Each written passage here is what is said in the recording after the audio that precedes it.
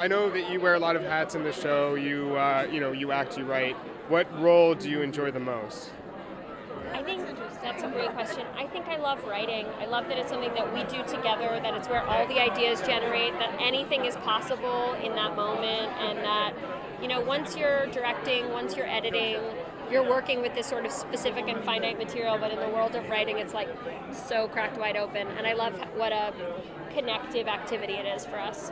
Right. And what, what, what do you enjoy, you know, what part of producing for the show do you enjoy? Like, why I think I like the writing the best too. I mean, I really do. It's so much fun. But I also, you know, we have an incredible crew. We work with just this incredible crew, and our actors are really, really special and professional and awesome. And I like being a manager of all those people and and having the same people come back year after year, and it's like a big family.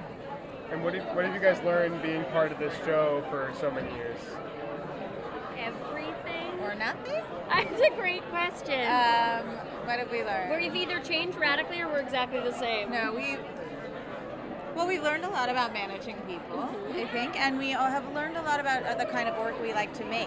And Girls has been such an incredibly positive experience that now we just want to push the ball forward for women in a million other ways. So we started a production company called The Casual Romance, and that's sort of our mandate. Yeah, and our first, the first thing we produced together, a documentary called "It's Me, Hilary," is going to be produced, um, premiering at Sundance, and working on a number of other projects. And we feel very connected to.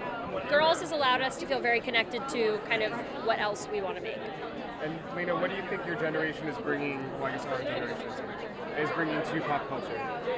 Great question. I mean, I've been really impressed recently with how I think, I think uh, millennials, if you want to call them that, have gotten a lot of flack for being incredibly apathetic. But I think that this year they've really proven that they have a strong moral and political conscience, Yeah. and that's been really exciting to watch. Between the midterm elections and you know the If things get bad enough, I know, and the peaceful They protests in New. York around Eric Garner, it's been a very amazing thing to watch that passion come out of a generation that's typically labeled as dispassionate.